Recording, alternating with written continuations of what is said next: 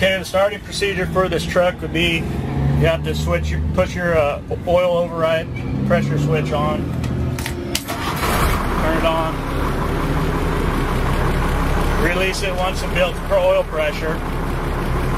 And then for shutting it off, you always have to shut it off when it's in neutral. So you'll engage it in gear, hold the switch down till it says neutral, and shut it off.